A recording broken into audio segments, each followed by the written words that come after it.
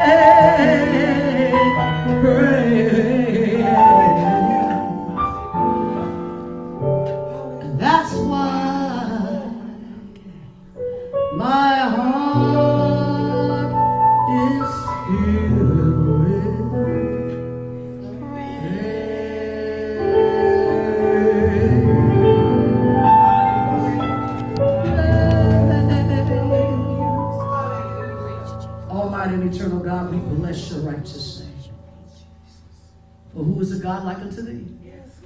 clothed with glory and majesty, dominion, and power might as we come before your presence with thanksgiving.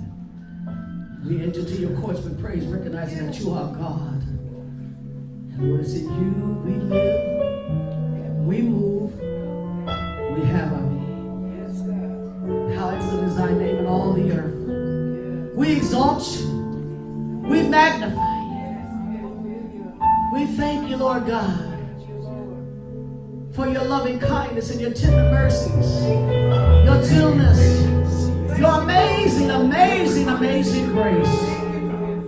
How we honor you. All that's within us. Touch us, Lord. Touch our minds. Touch our bodies. Touch us, Lord God. In every area where we need you to touch us. And look on our family, our children and grandchildren, our spouses, I love them. God, they God, we need your touch. We need your touch. We need your touch. So, Lord, be glorified and be exalted. In Jesus' name. Now, Holy Spirit, think through my thoughts. As we get into your word, Lord, from, from tragedy to triumph, from tragedy to triumph. Lord God, many people have faced tragedy. But in a matter of days, in a matter of time, we're going to triumph, even as you showed us, Lord. So, Holy Spirit, think to my thoughts, speak to my lips of clay, and let it be all of you and none of me. Hide me under the blood. Let the words of my mouth and the meditation of my heart be acceptable in thy sight, my God and my Redeemer. Come on and shout glory. Holy Spirit, have your way. Come on, shout glory again. Amen. You may have your seats in his presence. His presence is fullness of joy.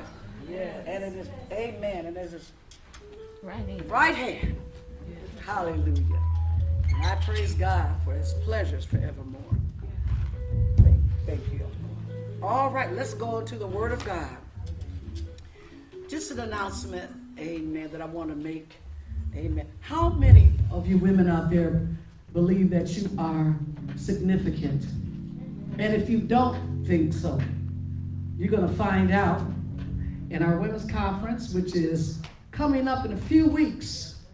Amen. Women are significant. Yes.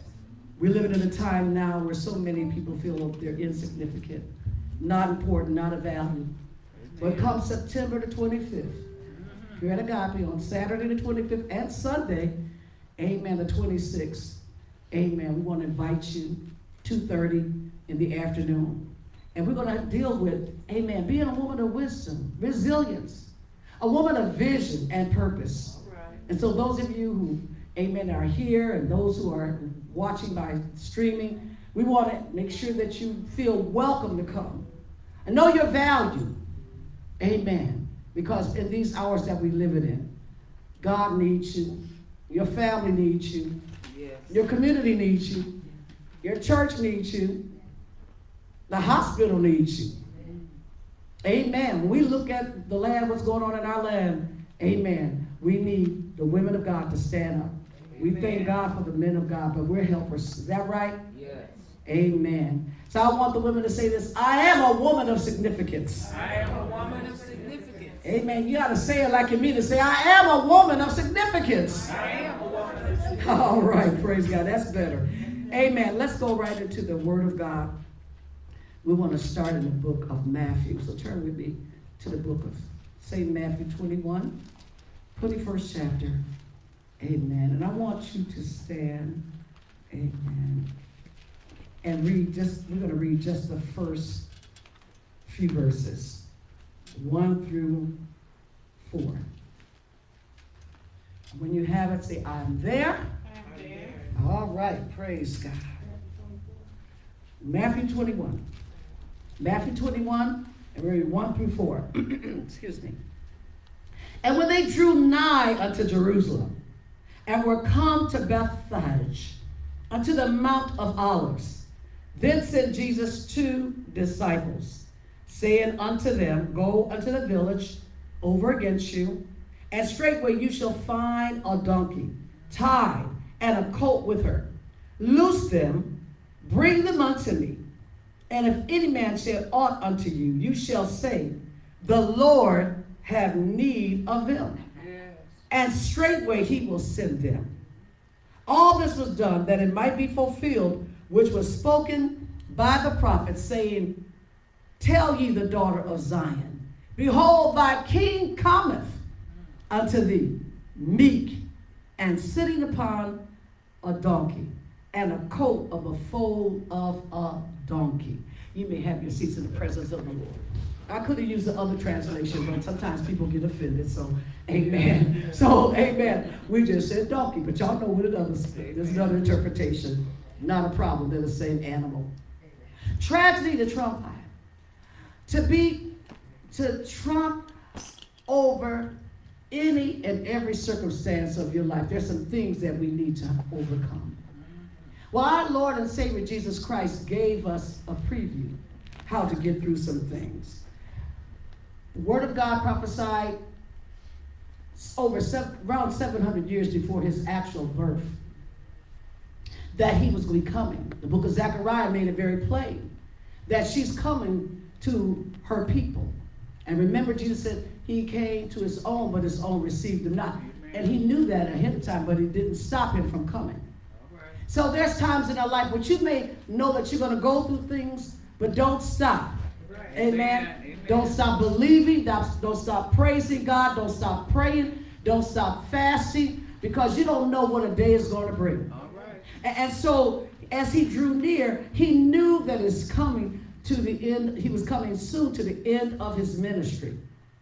So in that sixth verse, because he sent for, amen, the, the, the donkey so that he would fulfill the prophetic word concerning his coming in to Jerusalem.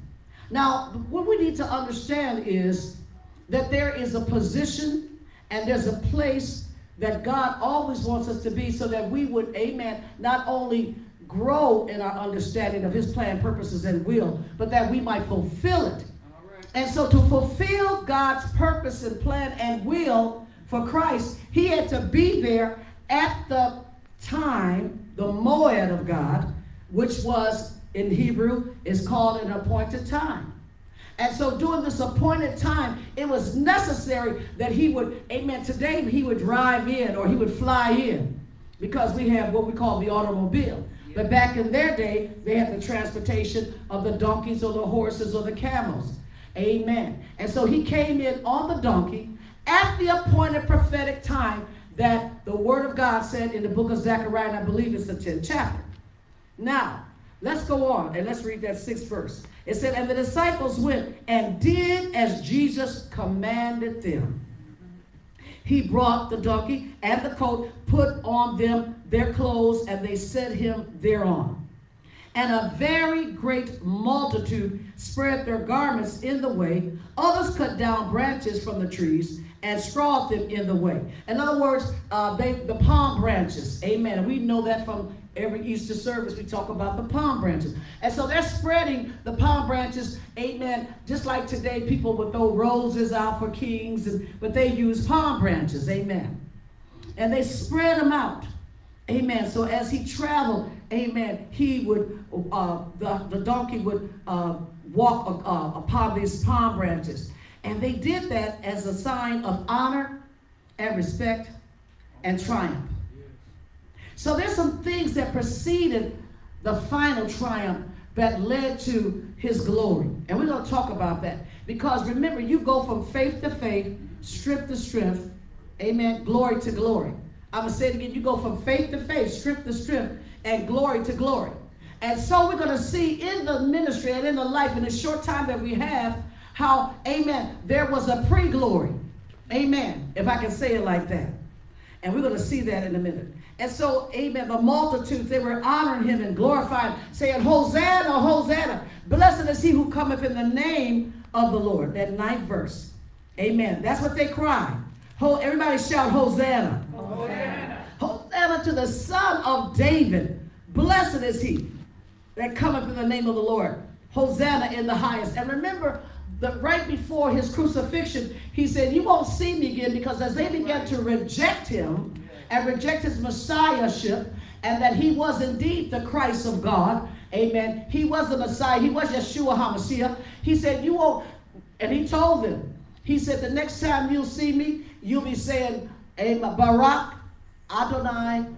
I can't remember all of it, but it means the same thing. Blessed is he Amen. Barak, blessed is he who cometh in Adonai in the name of the Lord. So blessed is he that cometh in the name of. He said they shouted and praised him, and he said, "You won't. you'll say this again, but you won't say it until I, I won't hear you say it until you shout it from the earth." Because there's going to come a time when you're going to call me your Messiah. You're going to name me. You're going to claim me. You're going to confess because every knee's going to bow. Every tongue's going to confess that Jesus Christ indeed is Lord to the glory of the Father. So, what would happen between the, somebody said, in the meantime. In the meantime. Somebody said, in the meantime. In the meantime. Amen. Let's go over here to Matthew 20. Oh, let's finish this out. I'm not done yet. Look at the look at the 10th verse. And when he was coming to Jerusalem, all the city was moved, saying, Who is this? So that lets us know that obviously there were some that did not recognize that he indeed was the Christ of God. He was the son of David. He was Yeshua HaMashiach. That, amen, he was a son of Abraham. They didn't recognize him. And there's still times in our lives that there's people in your family that don't recognize him. And so it's up to us to, amen, confess him. Amen. And to minister to them and allow his life to be seen in and through us. And so they said, Who is this? And look at the 11th verse. And the multitude said, This is who? Jesus. This is who? Jesus. This is Jesus. The, come on and say it with me. This is who? Jesus. Amen. The prophet of Nazareth of Galilee. He is what? The prophet of Nazareth of Galilee. And so they did not know, obviously, some of these people did not know who he was because they said, Who is this? So I, I, I, I want you to let that sink in. Because sometimes you're around people that don't know and don't realize who he is. Let's go to Matthew 26. Amen. And we're going to look at the sixth verse. Amen. Starting there. Now remember, we're talking about from tragedy to triumph. But in the meantime, there's some things that be happening. There's some situations that, amen, may affect your life or the life of your loved ones. All of us have dealt with tragedy, especially during this pandemic.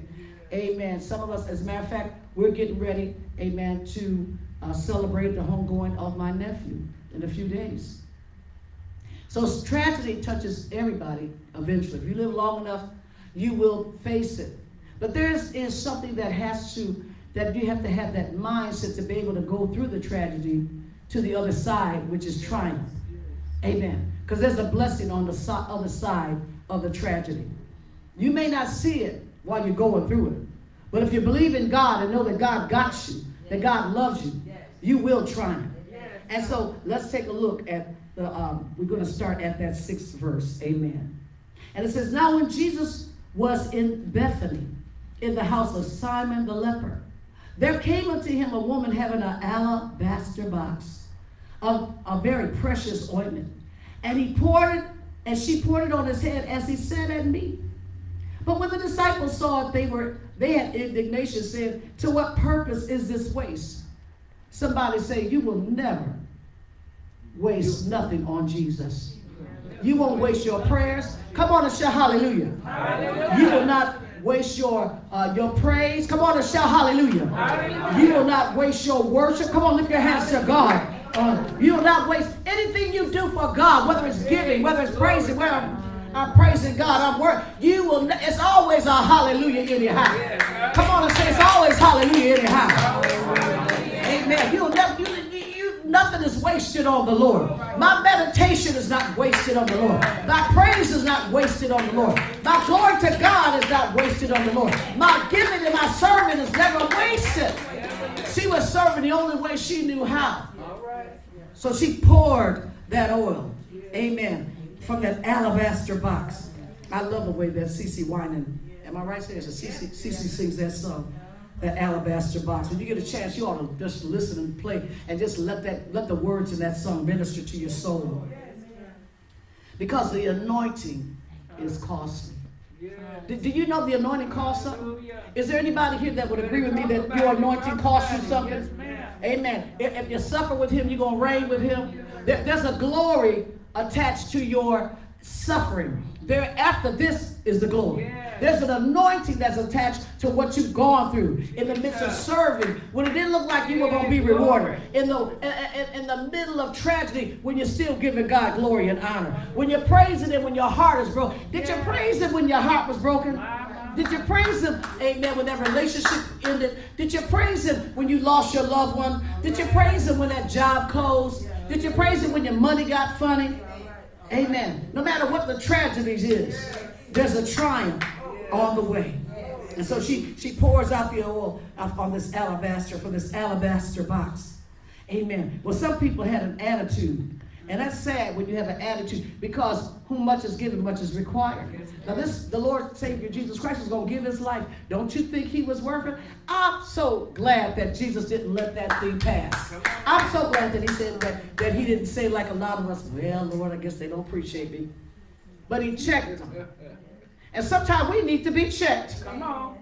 This God that have done everything for you. Yes, yes. He paid the price. He they, they, they stretched him wide. They hung him and they what? Stretched him wide. Yes. And he died for you. The ransom, the propitiation, substitute for your sins and mine. Hung up for your hang up. And yet there are people that treat this thing like under the blood of Jesus as this is nothing. Mm-hmm. And it's sad. But I'm so glad that the Lord said this. Look what he says. This, look what his answer when Jesus, because for what purpose is this waste? For the ointment might have been sold for much and given to the poor. I'm so glad Jesus responded and said, Why trouble ye this woman? For one thing, it ain't your business how she spends all her right, money. For one thing, it ain't your business how she uses her, her the, the, the blessing that she had. That alabaster box itself was worth thousands of dollars in our economy today. That expensive ointment It wasn't their business how she decided or how she gonna use it. Sometimes people get an attitude because God doesn't bless you. Okay. So look at somebody say, how I get blessed? Ain't your business. Ain't your business. Amen. Because sometimes God's just gonna bless you because sometimes God will just bless you because what is some what what that very famous preacher say? What favor ain't fair? Yes. Amen. And it ain't. Because sometimes, see, but everybody don't know how you worship God. Everybody don't know how you went through that situation. Everybody don't understand how you suffered and went through and prayed anyway, gave anyway, did what you were asked to do, even though you know you wasn't going to be respected or honored or even appreciated. So the Lord made it very plain. Look what he says, and I love it. He said, the poor you're going to have always, but you're not going to always have me. See, his time, as a matter of fact, she was preparing for his burial. But they missed it because they're so worried about what she was doing. Amen. See, see, everybody's gonna face some kind of tragedy, but your eye, the secret of getting through it is keep your eyes on Jesus. Keep your eyes upon Jesus. Amen. And then look what it said. For that she had poured this ointment on my body. She did it for my burial. Verily I say unto you, wheresoever the gospel shall be preached to the whole world, there shall also this, that this woman hath done, be told for what? A memorial. A memorial of her. That what she gave. You don't think you're giving counts in God's economy? You don't think that God sees you when you give of your talent, your gift, your sacrifice? Your praise and your worship or whatever you do for the Lord, he, he made sure that they understand that not only did God accept her praise, accept her gift, accept her sacrifice, but he said, wherever the gospel is we preach, this gospel, she gonna be included in the gospel. Amen. Amen. So So let's go on. Somebody say, in the meanwhile. In the meanwhile. Say it again, in the meanwhile. Amen. So let's go to Matthew the 17th chapter. Hallelujah. So let's flip back a few pages. Matthew the 17th chapter. God loves you. You are more important to God than you even realize. Your gift, your sacrifice, and even the fact that if you suffer with him, you reign. Because many are the afflictions of the righteous, but the Lord will deliver you out of them all. But he said that listen what he said in his word. He said, I'm the Lord, I'm the God of all flesh. Is there anything too what? Hard for me. God will bring you through. Yes, amen. He amen. He let yes, us know that his right arm will rescue us. Is that right? Lord, yes. yes, he is a he is a righteous God. He knows every situation and circumstance that you go through. He sees your uprising, your down sitting, you're going in, you're coming out. He knows the way that you take. He knows what's going to happen in two months, three months, the next day. Amen. And he's with you because Jesus promised, I'll never leave you, nor will I forsake you. I'll be with you what? Always to the end of the age. So in Matthew 17, amen. Somebody said mountaintop glory.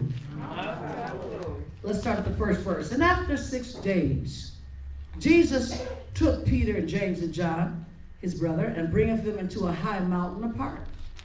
And he was transfigured before them and his face did shine as the sun, and his raiment was white as light.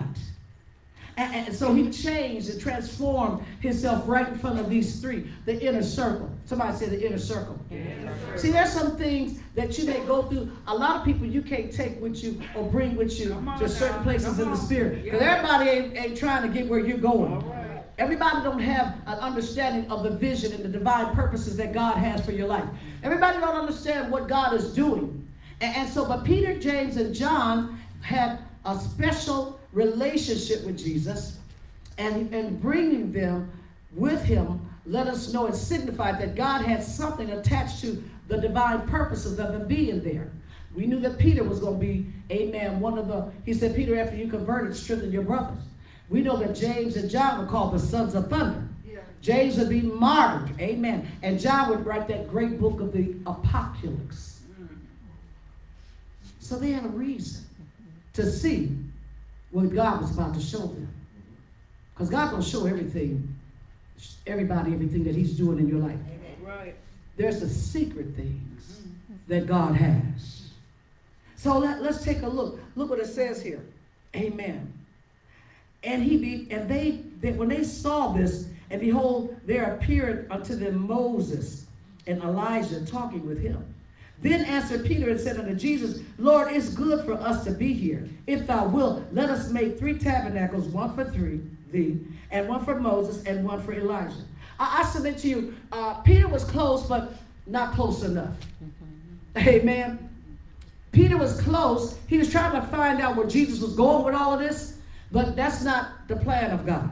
It wasn't about the tabernacle, amen, which was a place of, of God's presence, the Shekinah, because God had something more. Because this, in the meanwhile, God was still doing something. But Peter is trying to understand. Because see, remember, Peter is the one that got the revelation that thou art the Christ, the Son of the living God. And, and so his spirit is searching, what does these things mean? So he just said, well, let's make a tabernacle.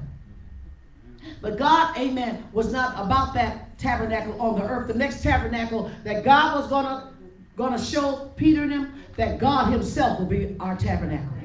That the temple, that we're going to be in a place with Him where we won't need a, a, a, temple. We won't need a physical church. We won't need, because He Himself will be the temple.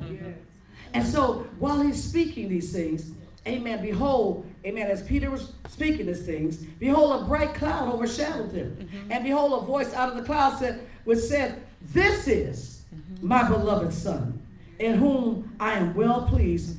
Hear ye him. And when the disciples heard it, they fell on their faces and were afraid. But Jesus said, came and he touched them and said, Arise and be not afraid. Because faith cometh by what? Hearing. And hearing by the word. So the Father was establishing, this is my son. In the meanwhile, while all of these things are going on right now, the, the, see, this is a foretaste of glory divine. Uh, what, what, what, when he came into Jerusalem, it was a foretaste of glory divine. It was coming of the Messiah, coming, amen, as a foretaste of glory divine. Mm-hmm. But then, amen, and on the mountaintop, it was a foretaste of glory divine. When the woman poured the oil from the alabaster box, it was a foretaste of glory divine.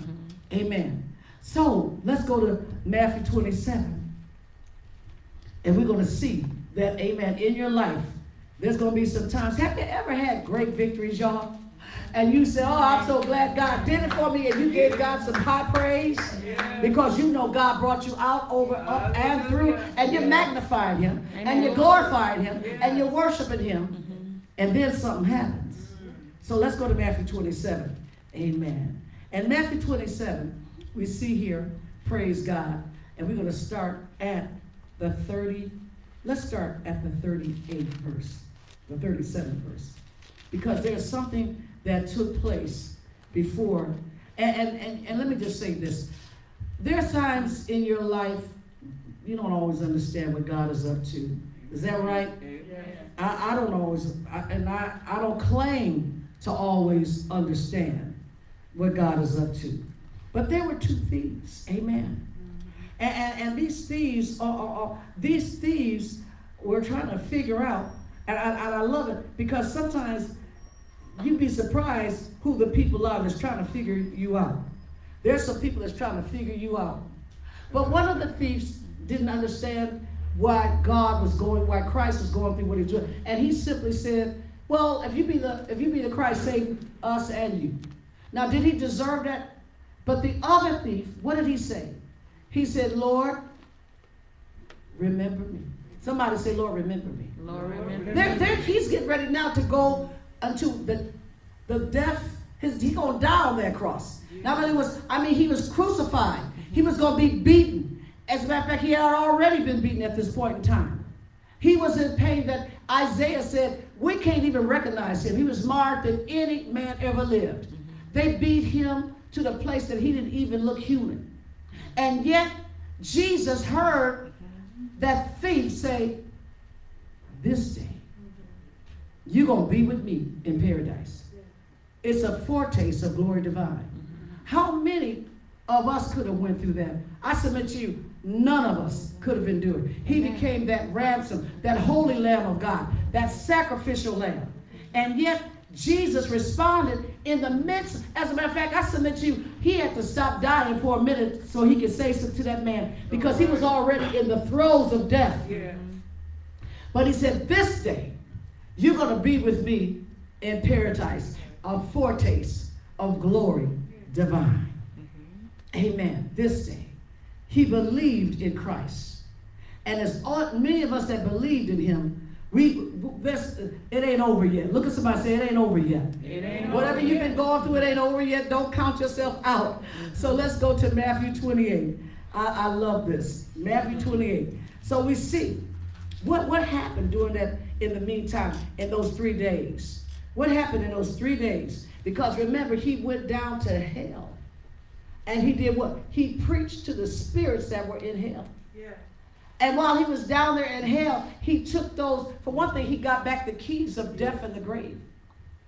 He spoiled principalities. We're going to see that in a minute. Mm-hmm. He let the devil know, amen, that grave, you ain't got no hold on me. Right. Hallelujah.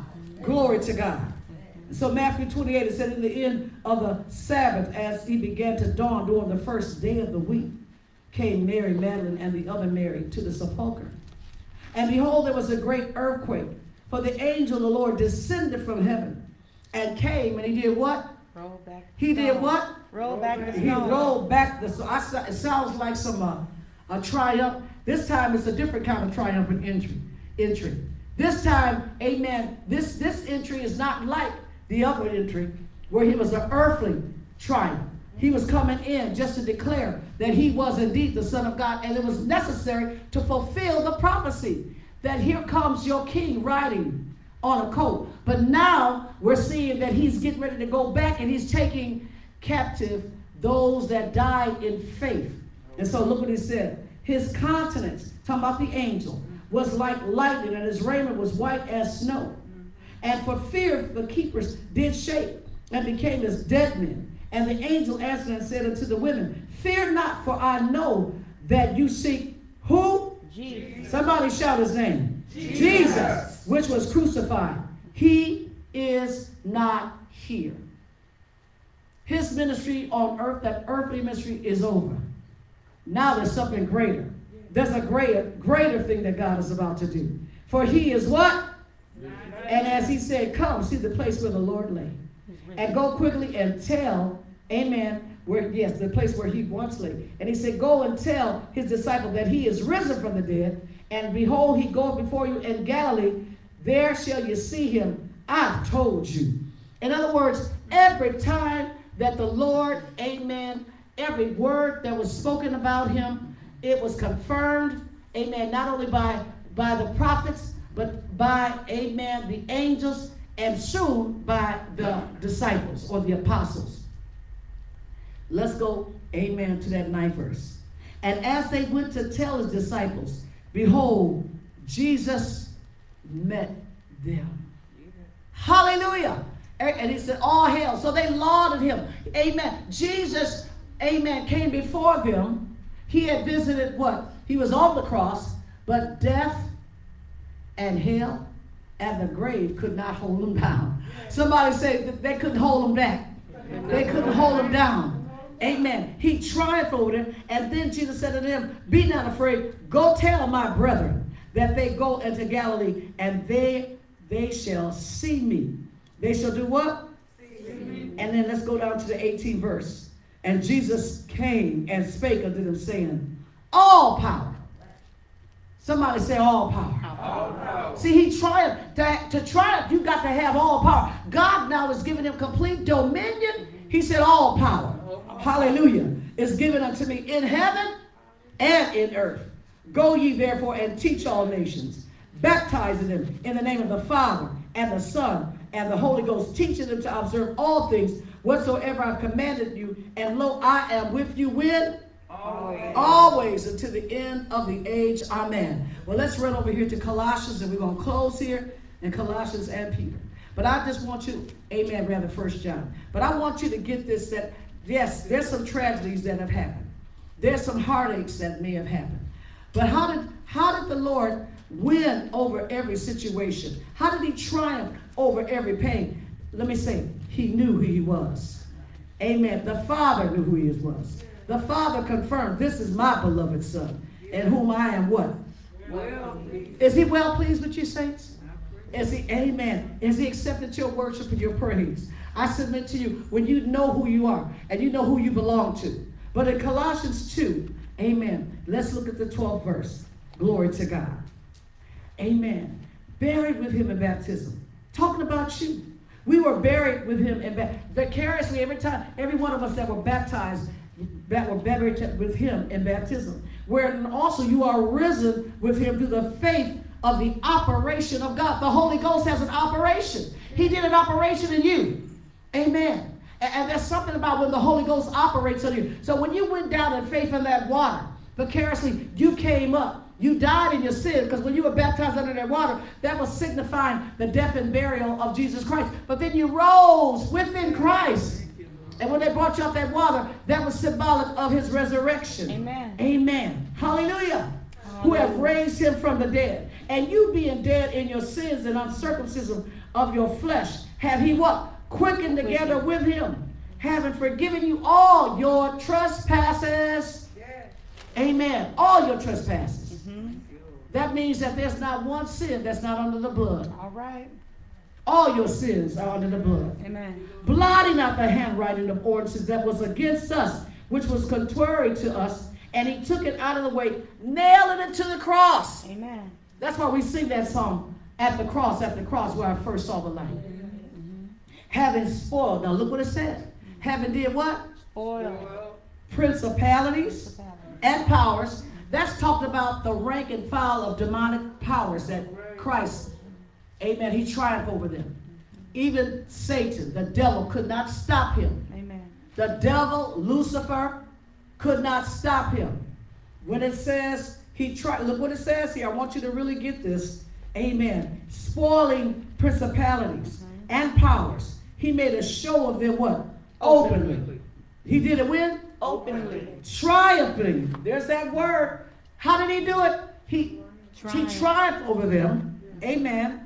Hallelujah. Lord. It, in that situation. And when he went down to hell, he let the devil know you ain't got nothing coming. He let the devil know you can. Your work has been canceled. Your assignment is over. You will never be able to keep my children in bondage to sin again. All they have to do is put their trust in me, believe in me. All they have to do is know that I am their Lord and confess me. Amen. Because why? Jesus triumphed over every, because remember, Adam gave over the access of the earth, took, took dominion over us, and had us in bondage and the fear of death. So what did Jesus go down there do? He got the title deed back. Amen. Amen. He got the title deed back. Amen. Fulfilling what God's original plan and purpose that mankind would dwell with him and that mankind would live for him and that we would be children of the Most High God. So, having spoiled principalities and power, he made a show of them openly, triumphing over them in it.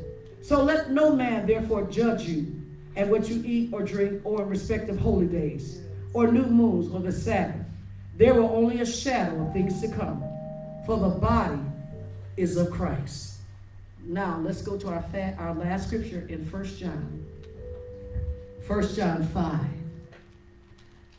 Saints, you will never be defeated. Amen. Look at somebody and say, I'll never be defeated. I'll never be defeated. See, you got to confess that for yourself. Amen. Do you have you confessed that you'll never be defeated? Amen.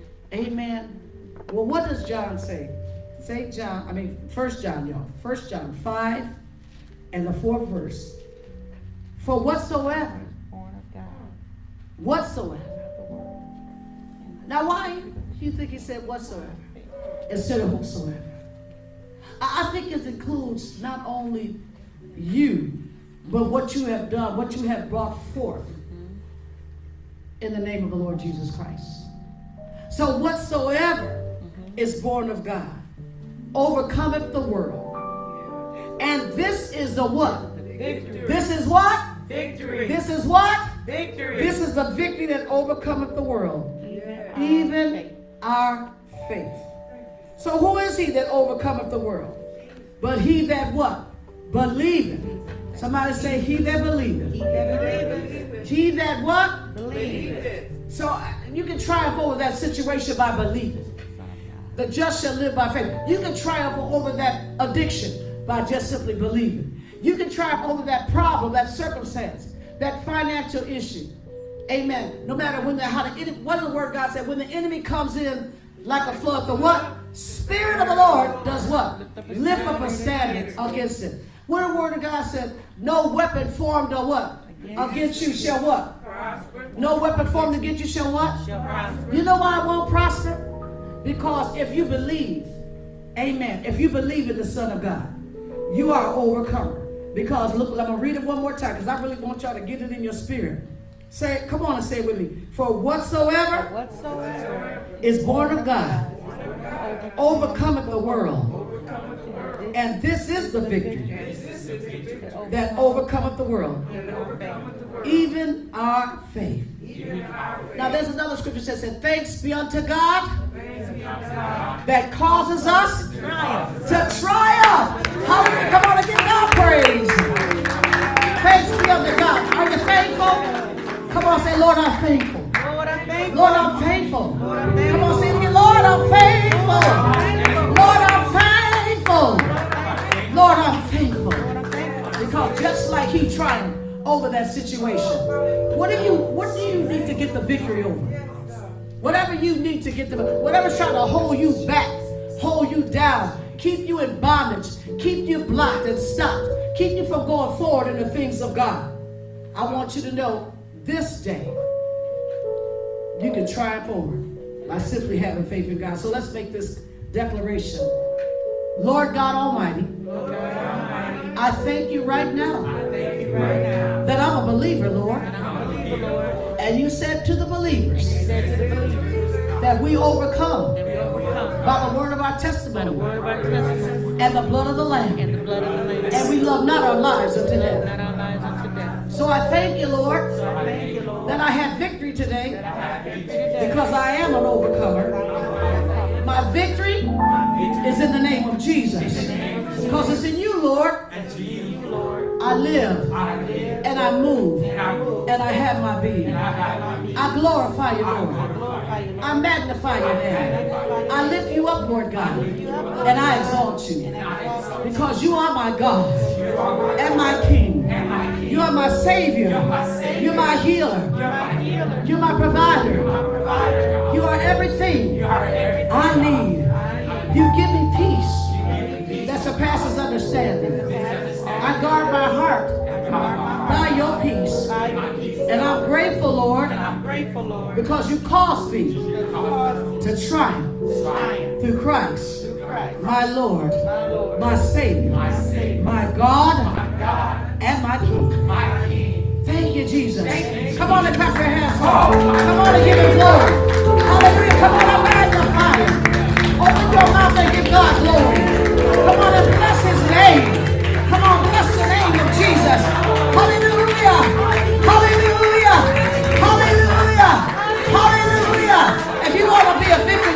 Open your mouth and give God praise. You want to be an overcomer, open your mouth and give God glory. If you want to triumph over that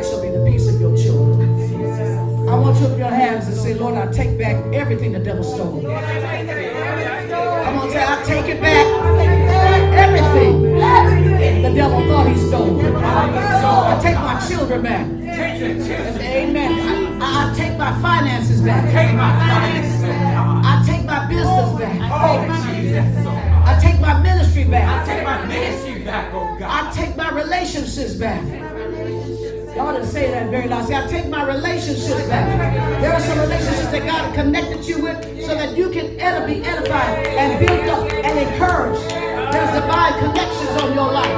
And the devil wants to put you, cancel you, disconnect you. But I tell you right now, you're connected in Jesus' name. Come on and give God glory. God glory. Glory.